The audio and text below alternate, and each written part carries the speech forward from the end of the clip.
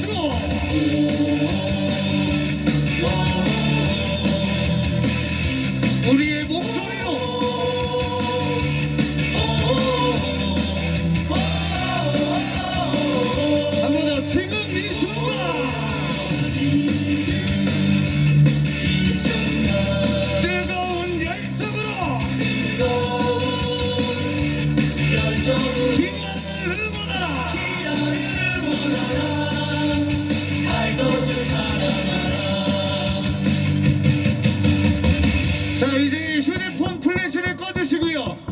자 오늘 승리를 위한 공격 두 번 남았습니다. 우리 선수들 오늘 끝까지 힘내라고.